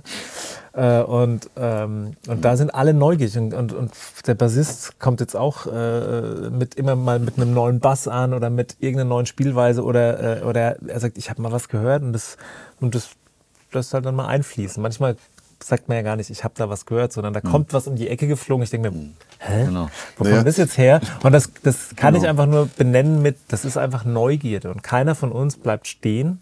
Und äh, auch in unseren, im, äh, auch im elften Jahr ist keiner so, so ich sage jetzt mal so runtergerockt, dass er sagt, ja, ich spiele da jetzt eine Strumming-Gitarre, hat ja schon immer funktioniert. Ja, genau. Sondern das ist, ich spiele jetzt gerade die Strumming-Gitarre nicht, weil ich glaube, dass ich an der Stelle eine ganz andere Tür aufmachen werde, wenn ich jetzt in dem Moment eine E-Gitarre spiele, die gelow-cutted ist und eigentlich nur Single Notes spielt. Und jeder sagt, aber eigentlich müsste da jetzt die Strumming kommen. Ja, warte mal ab, ich probiere es jetzt mal aus. Und dann sitzen Ja. alle da und haben solche Augen und denken sich so, das war die Wahnsinnsidee. Das ist ja, von jedem kommt Ja, immer ja, mal eine immer. Idee, wo du sagst so, das rettet einfach den Song dann auch und das rettet auch das Arrangement. Das, ja, das, also es gibt viel Spielraum für jede einzelne Handschrift, so, die jeder so mitbringt, ne, weil ja auch, wie gesagt, schon jeder so ein bisschen so ein Nerd ist und auch selber viel schraubt und so. Ne. Aber das Schöne ist ja auch, jetzt du als, als, als ähm, musikalischer ähm, Typ, der die Vogelperspektive hat, der kennt seine Leute irgendwann so. Ne? Du weißt auch, okay, von dem könnte das kommen, von dem kommt das und so. Ich weiß auch, wo ich die Türen auflassen kann und wo nicht oder so. Und du hast ja immer Zeitdruck. Das ist ja eigentlich auch so ein Ding, dass du ja am Ende, am Ende hängt es an dir. Ne? Du musst am Ende das abliefern an die Produktionsfirma. Und ähm, ist, das, ist das nicht manchmal, also wie, wie gehst du mit dem Druck um, wenn du merkst, okay, wir haben jetzt noch einen Song, aber wir sind noch nicht da und die Zeit läuft ab. Der Künstler muss vielleicht sogar äh, weg, weil er Der Flieger geht um sechs und wir haben so, ne? 15.30 nee, es ist 17 Uhr. Ja, ja, genau. Das hatten wir auch schon oft, Ja. ne? dass es dann an dir hängen bleibt und du hast so das Gefühl, okay, wir müssen das Ding jetzt eintüten. Oh, viel atmen. Mhm. Also ich atme wahnsinnig viel während den Proben, wenn sowas passiert. Das ist tatsächlich so. Ich sitze dann da und atme und mache mir so Gedanken. Das ist ja, das, du hast es ja auch schon mal, du, es gibt ja quasi eine Karikatur von, von mir, von dir, wo du sagst so, ne? Und ich mache mir halt viel Gedanken darüber, dass ich, äh, dass ich, äh, also es geht sich am Schluss aus, wie der Österreicher sagt, oder es geht sich aus. Das geht sich aus. Der Bayer sagt es auch, ja. Genau, und Ja. es ist, ähm, manchmal gucke ich auch Fragend in den Raum, in der Hoffnung, dass irgendwas zurückkommt. Und es kommt auch äh, eigentlich zu 80 Prozent, wenn ich Hilfe suche. Das ist ja das, ähm, was ich auch manchmal sage. Äh, dieses Jahr habe ich es, glaube ich, gar nicht gesagt, weil ich es schon für selbstverständlich halte. Aber ich soll das immer wieder sagen. Äh, das, Bild von wir reiten alle zusammen los und wenn einer vom Pferd fällt, dann reitet bitte, dann, rei- ja, das ist auch egal. dann reitet bitte nicht alle weiter. sondern, genau, Schnitt.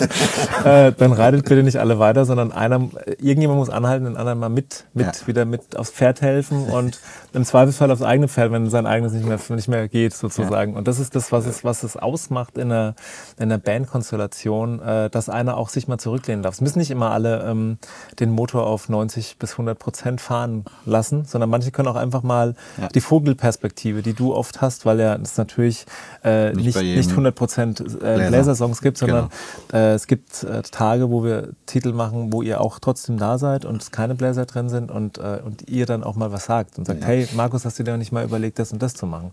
Und gegenseitig wir uns immer ein bisschen einen Impuls geben. Aber der Druck als solcher, dass es dann zu Ende wird, ist immer ich, war- ich, ich frage mich dann, das ist so ähnlich wie wenn man Songs sch- schreibt, dann frage ich mich auch manchmal, wo kam es denn dann her? Und manchmal ist es, ist es Fügung, Glück oder, oder es ist halt einfach, es ist eine tierische, es ist so ein Druck, der dann eben aus dieser Kohle vielleicht sogar einen Diamanten macht. Weil es ist dann schon so, dass du dann da sitzt Metapher, und, ja. und du bist dann da und denkst so, ah, und, und dann gibt es aber, es ist meistens nicht von innen heraus, sondern es ist oft, das ist dieses morphige Cross-11-Gewebe, das da passiert. Weil das ist nämlich so, dann kommt von der Seite irgendwas und dann sehe ich, okay, alles klar. Der hat zwar gerade was ganz anderes gesagt, weil er da hat irgendwas von einem Viertelbass gesagt, den er spielen will am Bass. Aber über die Viertel bin ich auf das und das gekommen und lass uns mal kurz das ausprobieren. Weil ich glaube, dass der Künstler danach sagt, jetzt ist es geil und ich auch selber glaube, das ist der Weg. Ja. Ähm, Weglassen ist, manchmal, weglassen ist manchmal auch das. Also es gibt mal so, so eine kleine, eine kleine Sache, wenn ich sage, okay, wenn man die, die Trickkiste, in die man greift, ist manchmal die Trickkiste, dass man weglässt. Dann funktionieren manchmal die Sachen viel, viel besser, weil man dann einfach das eine, was Geiles, laut macht und nicht probiert, irgendwie fünf Sachen, äh, die einigermaßen geil sind, äh, hörbar zu machen. So. Nochmal ganz kurz zum Verständnis. Wie lange ist dieser Prozess nachher? Ah, Der Mix. Habt ihr drei Wochen Zeit? Wie, wie, vier Wochen? Wie ist es ungefähr? ich glaube fünf Fünf Wochen, Pi mal Daumen für 60 Titel. ja, oder vier. Und wir arbeiten immer so 9 to also wir wollten 9 to 5 dieses Jahr machen, es hat wieder nicht geklappt. 9 to 11. Aber nee, dann- es ist 9 to 6 einfach so. Okay, und dann kommt die Sendung, beginnt so Ende Mai, Anfang Juni meistens irgendwie, ne? Oder? Also diese Ausstrahlung. Ende April. Ende April schon. Ah, okay. Ende April. Das heißt, die quasi. Deadline Was ist irgendwie äh, Mitte April, ne? So ungefähr ist für euch immer so eine. De Ja, wir haben verschiedene Deadlines. Wir haben eine Deadline für die erste Sendung zum Beispiel, die muss halt früher fertig sein als alles andere. Klar, ja. Dann ist es so, dass in Zeiten von Spotify die Sachen dann auch gemastert sein müssen schon. Das heißt, wir mastern quasi äh, das Album schon on the fly, äh, schon die ersten zwei Folgen, weil die halt, äh, das Album kommt zum, zur dritten Folge raus. ja. Äh, damit die Leute einen gewissen Aha-Effekt natürlich auch Ja, haben. Äh, ja. Gibt man quasi, das gibt normalerweise wird auf Spotify ja alles am Freitag veröffentlicht Mhm. und ähm, Sing My Song hat quasi eine Sonderstellung, weil der wird nämlich am Dienstagabend veröffentlicht. ja. Zur Sendung. Zur Sendung quasi. Ich weiß nicht genau, aber ich habe das nie gecheckt, ob es jetzt um 20.15 Uhr genau rauskommt Mhm. oder wie es ist. Und, ähm, und dann ist es im Prinzip so, dass wir dann äh, eben im Prinzip, wenn es zu dritten, also wie, wenn die erste Sendung kommt, da sind wir quasi eigentlich fertig mit allen Titeln, die auf der CD sind. Zur dritten Sendung hin. Nee, zur ersten Sendung. Zur weil ersten dann Sendung, ja. drei Wochen bevor es äh, rauskommt, Ja, sozusagen in genau. den Laden oder auf Spotify. Dann muss gemastert ist- produziert werden. Master ist Ja, genau, das ja. ist die Vorlaufzeit, die die brauchen, um Ja. alles einzupflegen. Okay, und dann ist Sommer und Herbst äh, und dann beginnt Dann die neue ist Staffel.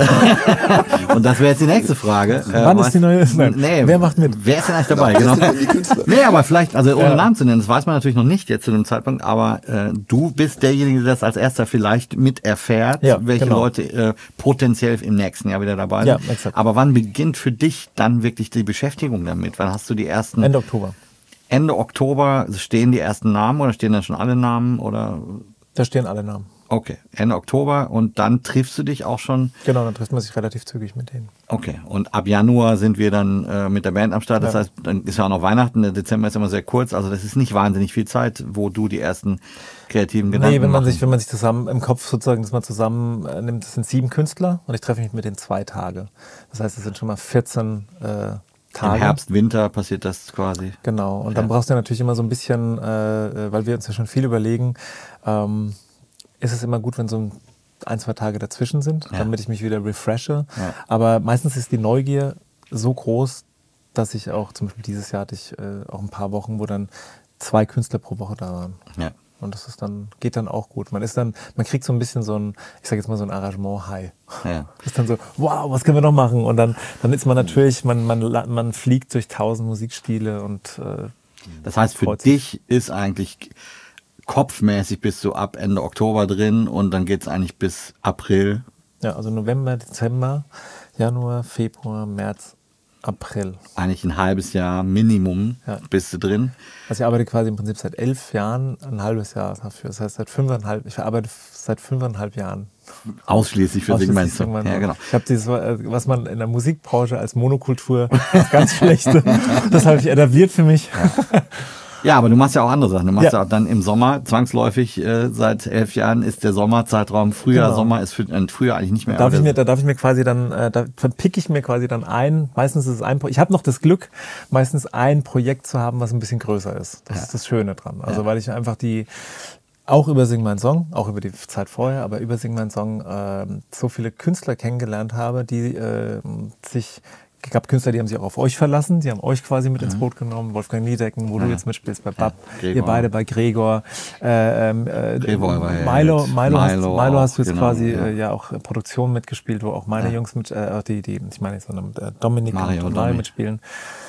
Und, ähm, und da kommen halt irgendwelche Synergien zustande, Mhm. die oder, oder Anrufe, die einfach Zeit gebraucht haben. Also zum Beispiel jetzt vor zwei Jahren habe ich dann den Anruf von Sascha bekommen. Und mit Sascha habe ich quasi ab der ersten Staffel, wir waren fertig, Mhm. Ja. und er hat mich danach angerufen und gemeint, ich liebe dich, ich möchte mit dir zusammenarbeiten. Ich, meine, ich liebe dich auch, will auch mit dir zusammenarbeiten. Mhm. Aber es hat sich nie ergeben. Und dann waren wir irgendwann an irgendeiner Stelle, ach genau, wir waren beim Bundespräsidenten gemeinsam Mhm. und haben für den gespielt. Und das ist auch noch was, was ich jetzt äh, ein paar Mal gemacht habe, was sehr schön war, immer mit einem Künstler bei Weihnachten mit dem Bundespräsidenten, mit einem Orchester spielen dürfen.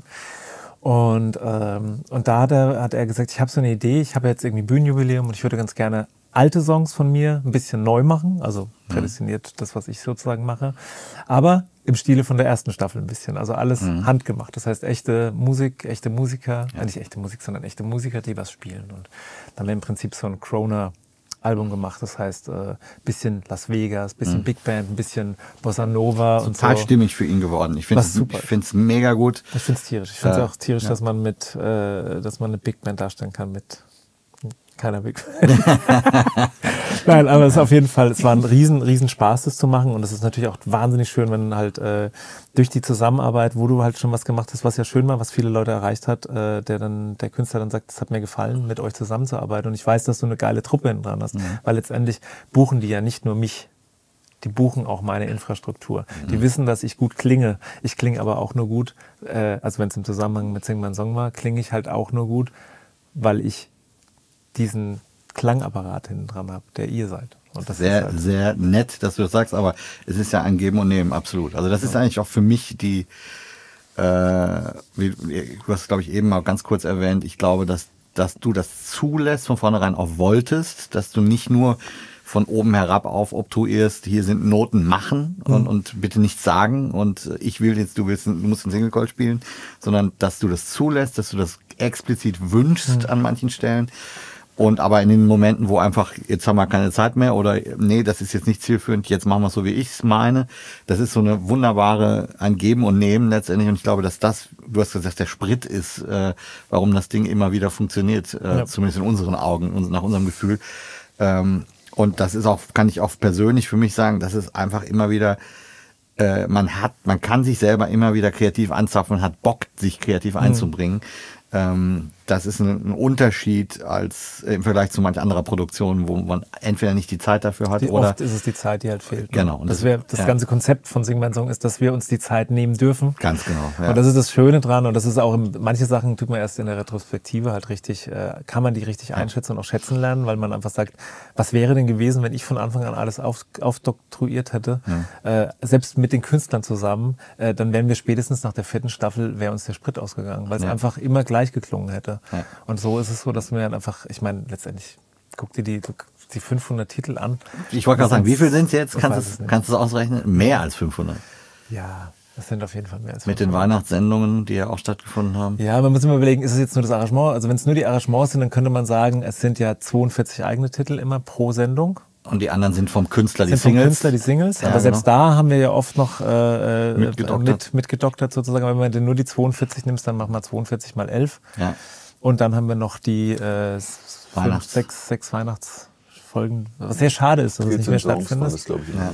Ja, was- Ah gut, also weit über 500. Es sind, glaube ich, 600 mittlerweile. 600, genau. ja, und das ja. ist halt, äh, und das ist mittlerweile so, dass du, also es gibt auch oft Leute, die halt, äh, man wird ja auch oft angeschrieben, also nicht so oft, dass, man- dass es sich lohnen würde, ein Buch zu machen, aber es kommen oft Leute, die halt sagen so, hey, wie habt ihr das da, gibt es da Noten dafür und so, wo man sich auch denkt, ey, das wäre eigentlich echt mal geil, wenn man so eine, so eine dicke Schwarte macht, sing mal einen Song, die Arrangements. Ich kriege tatsächlich auch immer mal wieder Anfragen von irgendwelchen Bands, äh, auch sei es jetzt Hobby oder sogar auch äh, ähm, Profi-Cover-Geschichten oder so, die dann sagen, hey, könnt ihr mal die Bläsernoten rausrücken? Ich muss leider immer Nein sagen. Das muss man auch mal sagen, weil es natürlich einfach rein rechtlich nicht geht. Äh, egal, ob das mal eine Nummer ist, wo ich selber die Bläser geschrieben habe, aber sonst kommt es von dir oder von anderen Leuten, aber es ist nun mal im Rahmen der Sendung entstanden, deswegen können wir diese Sachen nie rausgeben. Im Prinzip ist so, wir sind ja beauftragt von der, äh, von der Firma Ja. und das ist im Prinzip eine Rechteübertragung. Und, Genau. und da, da muss man quasi, das ist sozusagen, da ist die Grenze. Und man verkauft quasi sein, nicht sein, sein, sein, seinen geistigen Eigentum verkauft man nie, aber man darf es halt nicht quasi. die Nutzungsrechte liegen woanders einfach. Genau. Ja. Jetzt sind wir, es gibt noch viele, viele andere Dinge, aber wir sind schon für unsere Verhältnisse sehr weit Ich über. sagen, das müssen aber zusammenschneiden auf jeden Fall. Ja. Wahrscheinlich werden wir feststellen, dass wir ich immer, dass ich immer nicht. hier hingeguckt habe. Aber ich habe ein unheimlich gutes Profil. Kann man alles mit AI, kann man das so, Ja. dein Hindrehen. Gesicht wird komplett ausgetauscht. Das ist dann Quincy Jones. ja, ist doch sehr gut. Ja. Wir, treffen uns einfach, wir treffen uns einfach wieder. Ja, wir treffen uns das wieder und reden dann über alle anderen Dinge. Ja. Äh, oder vielleicht auch spätestens über die äh, nächste Staffel, die dann kommen wird. Wer ist da dabei? Weiß man noch nicht. Also es ist Miep und Miep und Miep und was der?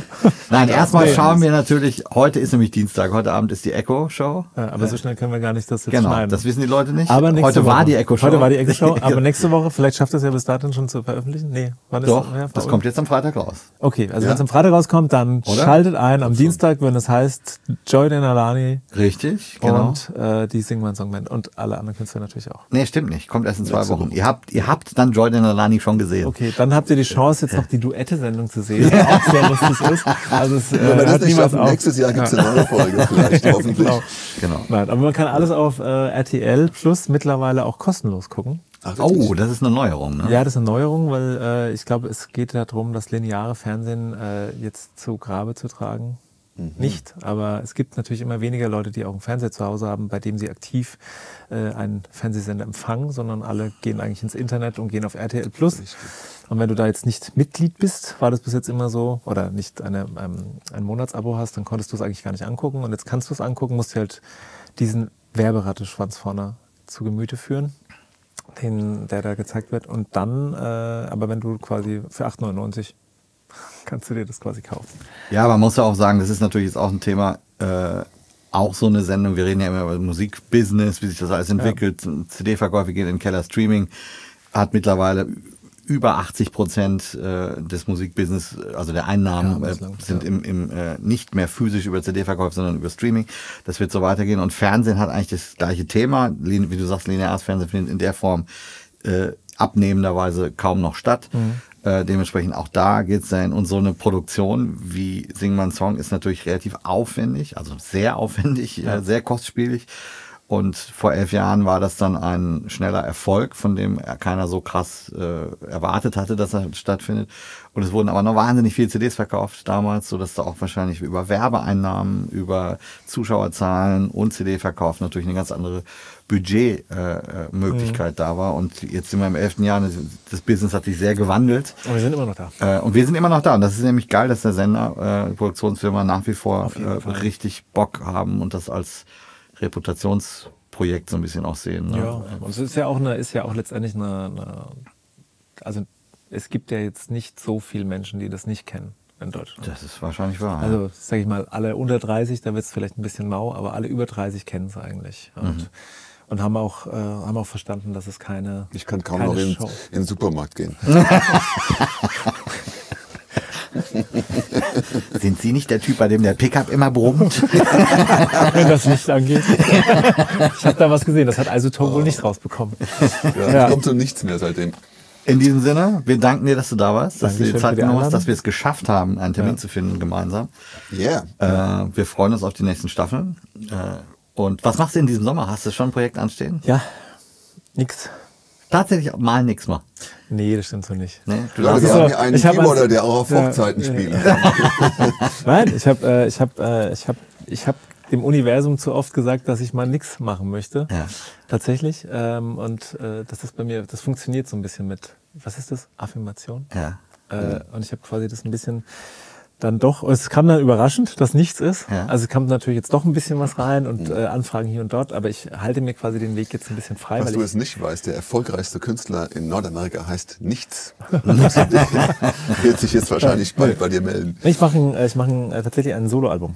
Ja, ich wollte gerade sagen, Klavier. ich wollte das jetzt nicht vorwegnehmen, jetzt hast du es Ja, selber genannt. genau, das Wir- müssen wir auch noch müssen wir nicht weiter drauf eingehen, nimm dir die Zeit, die du brauchst, aber das äh, Genau. finde ich sehr spannend, das möchte Projekt. einfach, genau, möchte einfach mich, mich, ich für mich und am Schluss äh, ich für meine, damit meine Kinder das haben, was ich von meinem Papa nicht hatte, nämlich äh, zu wissen irgendwann mal später, wie er Klavier gespielt hat. Und das äh, passiert bei uns zu Hause, dass ich mich ab und zu hinsetze als Meditation.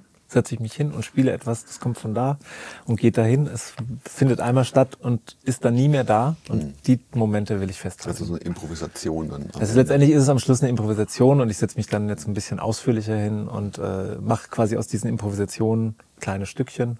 Und letztendlich ist es eigentlich nur ein Familienalbum. Ist ein geiles Konzept. Ich finde die Idee super und ich bin sehr gespannt, wie das klingen wird. Und ich glaube, dass die Leute das auch total interessiert, wie der Typ klingt, der sonst immer da hinten äh, hinter der Burg sitzt und äh, lächelt. Äh, ja. Und wie das, das kann, glaube ich, sehr persönlich werden. Wie sehr spannend. Ja. Wir freuen uns. Danke, Danke für die Einladung Tausend auf jeden Dank. Fall. Gell? Tschüss. Ist einen schönen Sommer.